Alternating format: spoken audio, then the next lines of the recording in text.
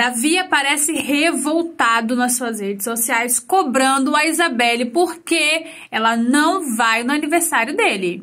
Vocês viram que o Matheus acabou de chegar em Manaus e ela, a Isabelle e o Matheus estão vivendo o maior love andando para cima e para baixo, visitando todo quanto é tipo de lugar lá em Manaus. E, gente, o povo tava falando que a Isabelle não ia no aniversário do Davi porque o Davi não convidou o Matheus. Tudo boato, né? A gente não sabe se é verdade.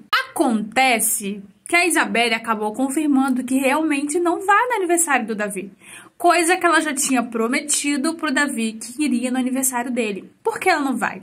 Ela não disse, ela não apareceu nas suas redes sociais e disse: Eu não vou no aniversário do Davi. Não, não foi assim. Ela apareceu nas suas redes sociais no dia de ontem, comunicando um trabalho, gente, uma publi é um trabalho, na verdade, né, que ela ia fazer. Parece que ela vai num podcast, que ela foi convidada no dia de amanhã. Isso confirma que ela não vai no aniversário do Davi, gente. Os fãs do Davi estão detonando a Isabelle por. Estão falando que ela arrumou esse compromisso do nada, só pra não ir no aniversário dele. Que ela não quer ir porque o Matheus não foi convidado. Eles estão falando um monte de coisas. E lá na caixinha de perguntas do Davi, ele recebeu a seguinte pergunta que ele respondeu. Olha só o que o internauta perguntou.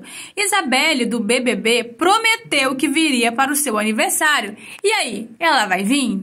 E o Davi disse que era verdade, que ela disse, prometeu, na verdade, que iria no aniversário dele. E, ela, e o Davi falou: mete bala para Salvador logo, porque você prometeu. E ele disse que vai cobrar a Isabelle. E agora? Será que a Isabelle vai aparecer do nada em Salvador? Será, gente? O aniversário é hoje, hein? Estamos na expectativa de quem serão os convidados do Davi. Essa também é outra expectativa aí dos internautas.